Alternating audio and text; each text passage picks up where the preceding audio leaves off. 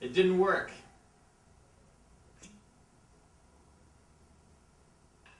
You owe me two bucks.